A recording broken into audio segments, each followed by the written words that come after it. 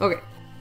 Back on our notes. Or in our new cool, spooky note journal. Okay, let's go back.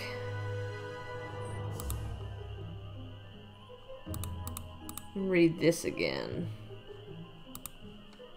Oops.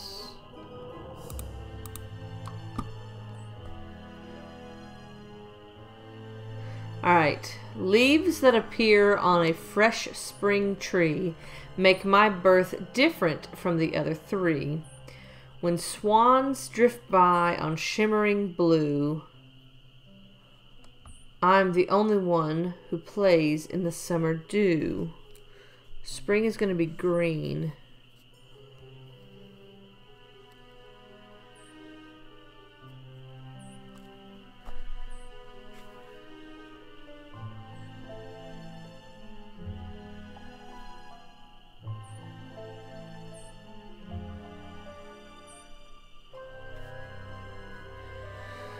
Don't know about the autumn one.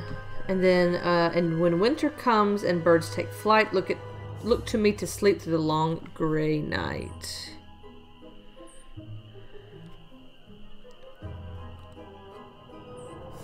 Hmm.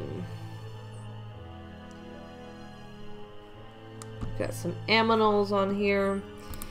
All right. Let's head to the graveyard.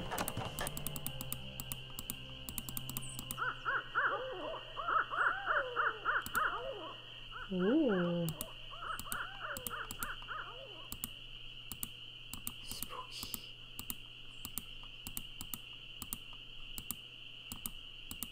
Oops.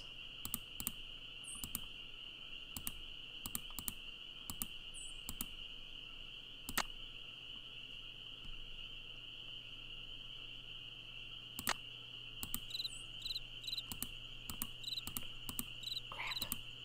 I don't know why I'm whispering. Wrong game.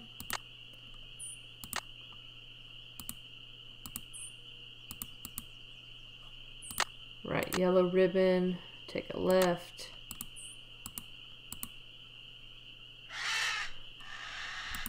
Ugh. The fuck? Alright, here we go.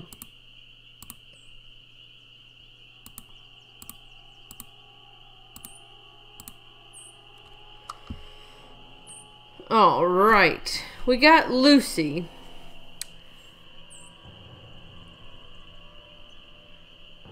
April.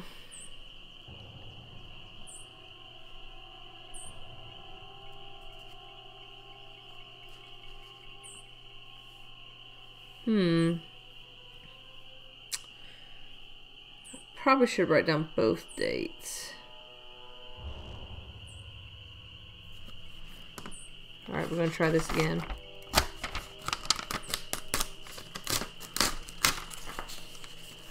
I don't like how the how my layout was.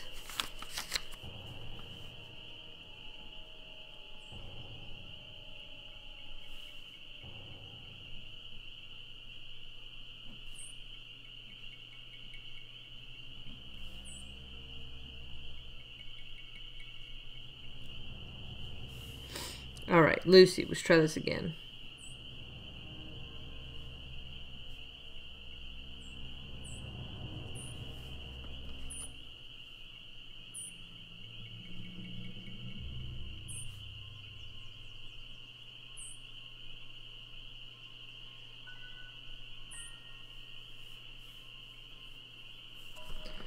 Okay. Iggy.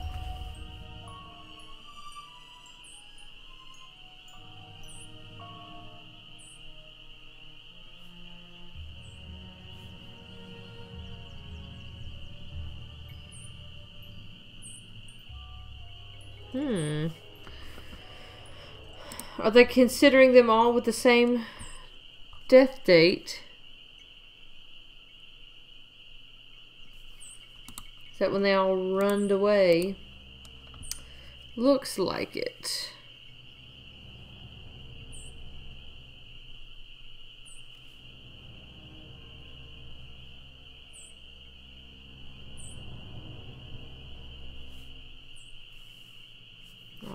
Right.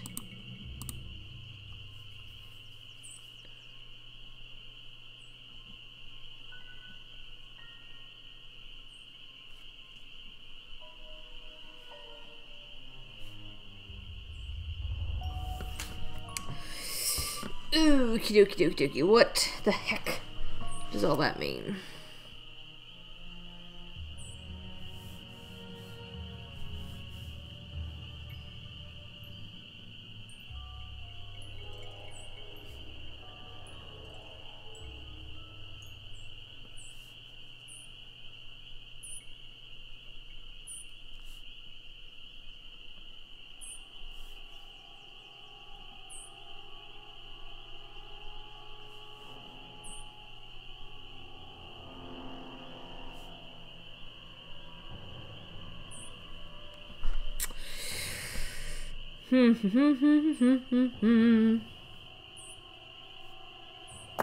All right.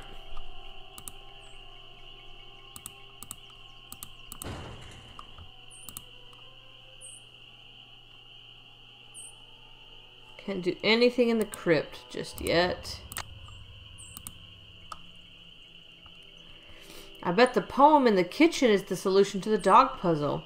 I just need to associate each dog with a season and a symbol deer, swan, birds, or tree and point and point the dog to the correct living room wall. Hmm. Hmm.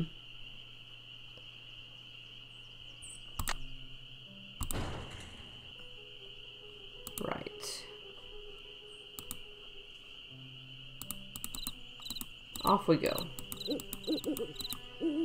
I mean, I knew they were associated, but, um... Oops.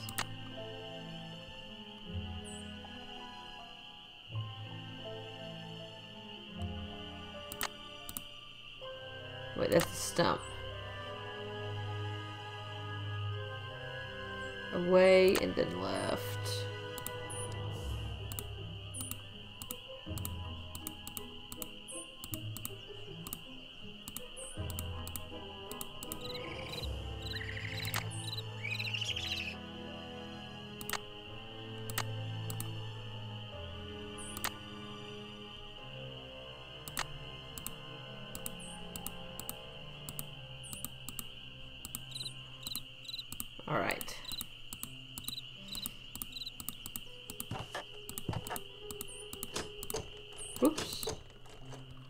Oh, it's the patterns on the wall.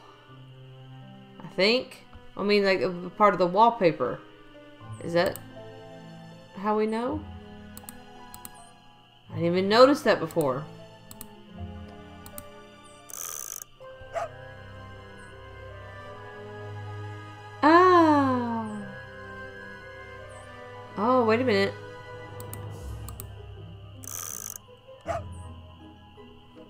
Have something to do with it?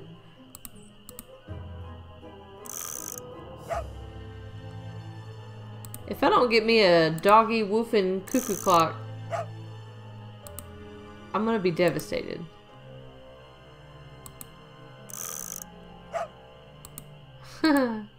Oops.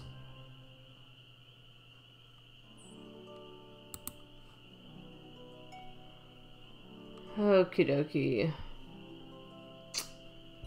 Hmm.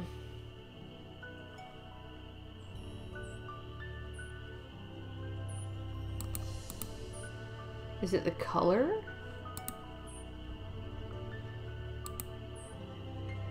I've only got like two colors.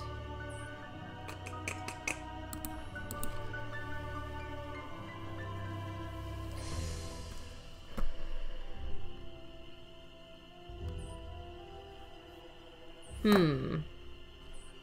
Hmm, as Nancy says. Oh, okay. Moving the dog statues and then change the pictures on the clock. Okay.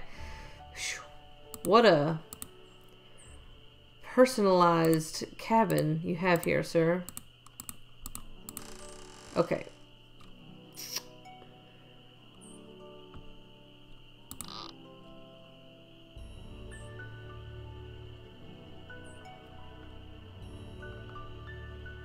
We're just gonna do one at a time. Fetus. Vitus? Vetus? Vitus?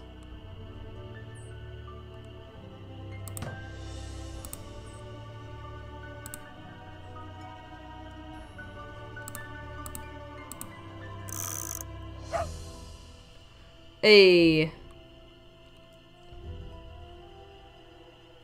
Okay, spring leaves trees. Okay, right. Okay, we need to associate their birth dates, I believe. Okay, August is going to be summer.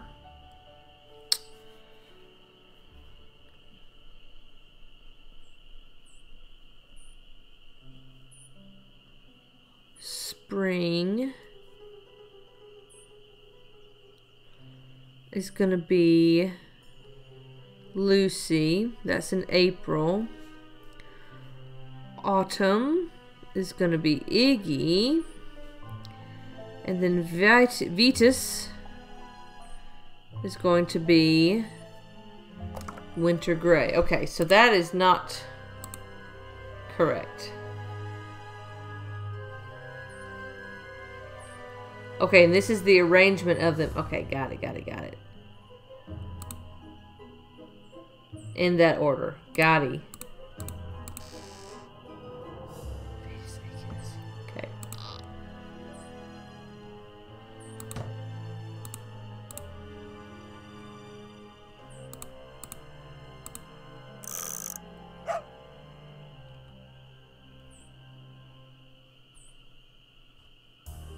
Are swans associated with winter?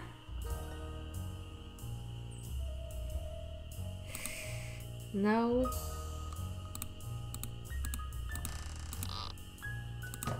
This is gonna be it.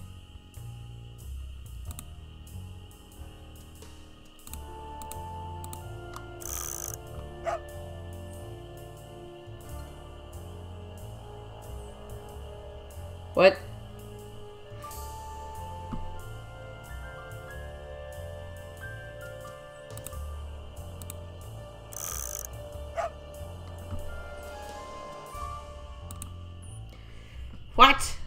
Alright. I get the feeling that we've missed some shit at the ranger station, of course. Alright. Alright. Let's call our main bitches Bess and George. See if they've got anything to say.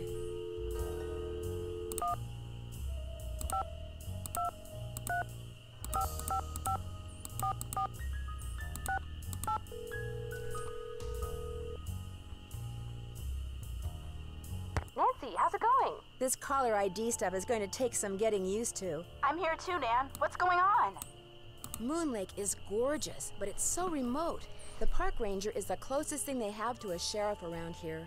Park ranger? What's he like? Which, as we all know, is Bess's way of saying park ranger. Is he cute? Not true, George. Nancy thinks everybody's cute, so what will be the point? Anyway, Nancy, you were saying? His name's Jeff Akers. He's very helpful, polite, efficient, knowledgeable. Sounds boring. In fact, Well, he probably knows more about the area than all the other residents of Moon Lake combined. Sounds very boring. What's he know about these alleged ghost dogs? He thinks they're just plain old dogs that for some reason like to run around at night scaring people. And what does Detective Drew think about the dogs? I think Sally had good reason to be scared of them. I don't blame her for leaving, which leads me to think that maybe that was the whole idea. Somebody had those dogs attack Sally in order to scare her away? Why would anybody do that? she was there for less than a month. You'd have to be a total creep to make enemies that fast. And Sally's one of the nicest people I know. Ooh, Nancy! Speaking of cute guys, Frank and Joe Hardy called. I filled them in on where you are and what you're doing, and they're dying to hear from you. Focus, ladies, focus. Oh, yeah? what are they up to? Compared to you, nothing. As I was telling them about this latest case of yours, I could hear them turning green with envy right through the receiver. Their number is oh, 280 555 4865. Bess didn't recognize it when they called and almost didn't answer the phone. Good thing my cousin here has a memory like an elephant, huh? What's that supposed to mean? Call them, Nancy. They're dying to hear from you. But remember, Frank's cute and all that, but George and I want to hear from you too. Yeah, no fair discussing the case with them from now on and not with us. I promise you'll keep us up to speed? I promise. This birdwatcher I met has got me taking pictures of birds for some survey he's doing. He's a bit of a grump. Does he live nearby? Grump. No, he just kind of hangs out in the woods. In fact, I only see him at night. Interesting. He's in the woods at night. The dogs are in the woods at night. Hmm. Could he have had a reason for wanting Sally out of the Malone house? As far as I know, he and Sally were on good terms. But I also know that Red doesn't seem to have much use for any life form that doesn't molt. He sounds like my Uncle Zach. He's into birds. Only he doesn't watch them. He hunts them, then shoots them. I Whoa. never really liked my Uncle Zach. Did I mention that all the water in Sally's house comes from a well? Ew, really? Does it taste like rotten eggs? Not all well water tastes like rotten eggs, Bess. I don't know if it does or not. Because the well is so old, I need to get the water tested before I drink it. Good plan. Nothing will wreck your day faster than a nice tall glass of contaminated water. Um, so we can ask them for a hint. I don't think we need it right this second. We're kind of on track. Once we can decipher this dog Bye, puzzle, you guys. Good luck, Nancy. And stay in touch. and we'll we'll go from there. Let's talk to the Hardy Boys.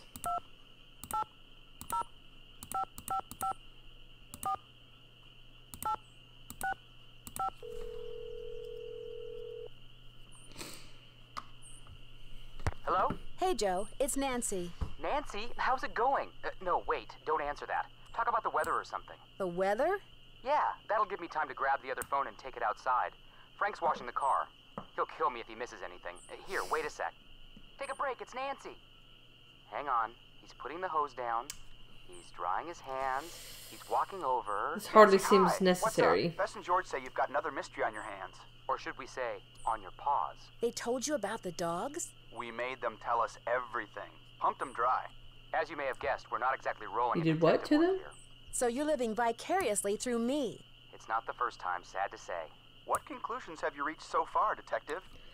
All right. So, if you didn't understand what they meant by get the other phone, you are not old. You are a young whippersnapper.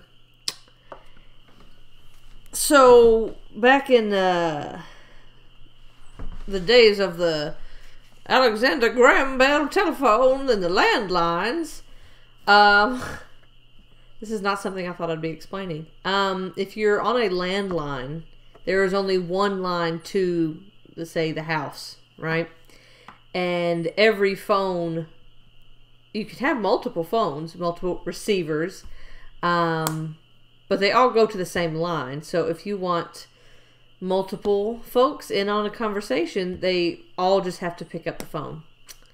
Uh, and it's the same phone call. If you're in the same house, then there was three way calling, and then um, you know if Mean Girls doesn't make sense to you to when you get you know when they three three way call ambush somebody, um, yeah, that's what's happening. But um, but yeah, all the the phones on one single landline go. It's it's one phone call, and that's something. Wow, that was not where I thought my night was going to end. Eee. Now I feel really old. If nothing else, those ghost dogs are very well trained. I'm watching to see who owns and or trains dogs around here. Good plan. But don't forget, a really smart perpetrator is going to make it look like he or she has no connection to dogs whatsoever. But then a really, really smart perp might have dogs all over the place and not bother to hide it, because he or she would figure you'd never suspect anyone so obvious. That birdwatcher doesn't have a dog. And when I met him for the first time, he seemed awfully eager to make sure I knew the story about Malone and his dogs. Sounds like a suspect to me. Bess said something about a good looking park ranger? Park Ranger Jeff Akers.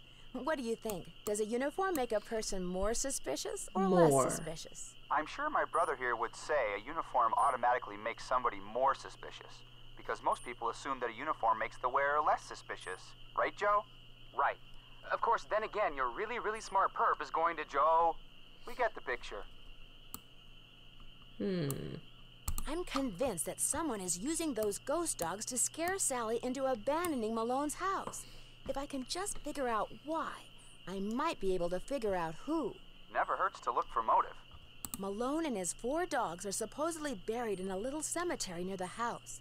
They've all got headstones inscribed with when they were born and when they died. That's interesting. Did Malone have family? Not that I'm aware of. Then who had the tombstones inscribed? Hmm. I don't know, but it had to be someone who had access to Malone's house and property after he died. Sounds like this latest puzzle of yours is still missing a few pieces. I seem to be getting nowhere fast. Anybody have any suggestions? We can probably come up with a few. But we're not going to make it easy for you.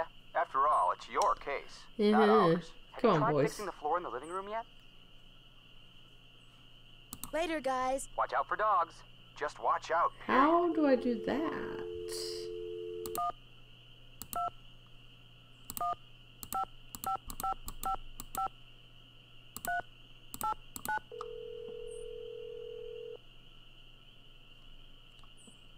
Hello? Hey, Sally, it's Nancy. Nancy, hi.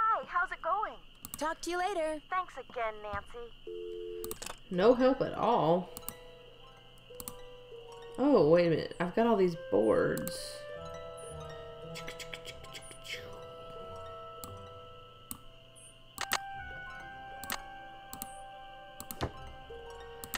Nice. What the heck?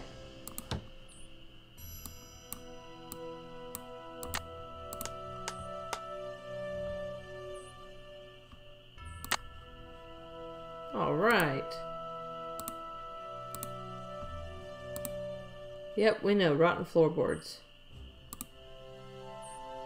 Is that it?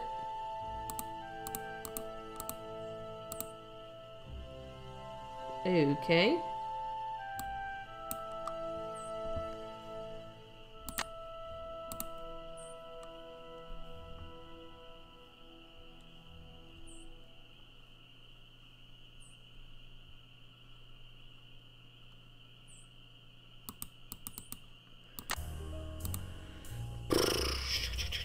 All right. We need to buy some camouflage. Whoops. And look for some symbolism with the different aminals. Hmm. Alright, let's go do that.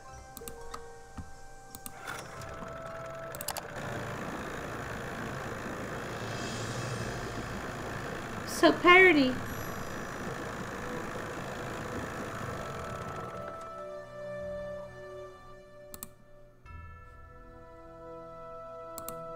Howdy, Nancy.